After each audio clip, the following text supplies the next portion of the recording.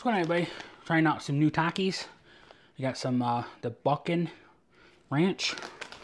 Like, uh, like a rodeo, like, you know, the Buck Inn Ranch. Even says it new on the label. Uh, I don't like chips companies where they sit there and you gotta tear down. I'm gonna get a pair of scissors because I don't think I can open it this way. Try first. Nope.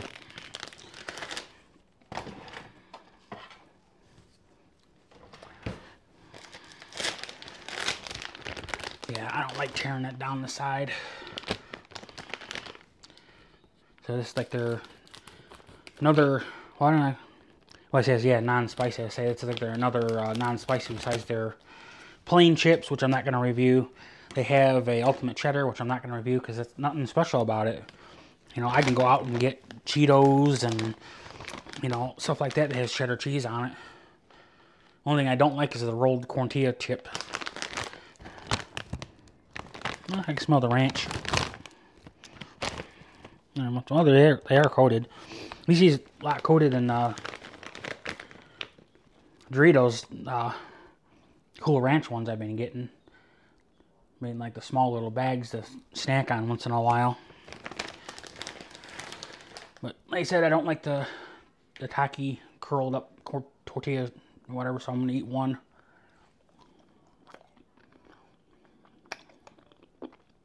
Mm.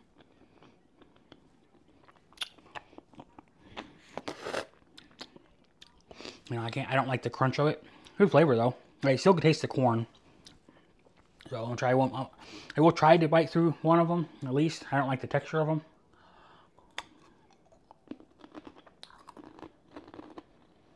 Hmm.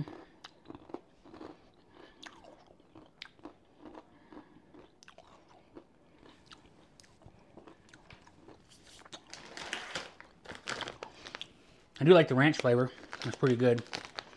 Then they can show the other non-spicy ones, the cheddar. I think they made popcorn too. It's not spicy, it's just crumbly. oh. You know, chips crumbly. I mean, the cough.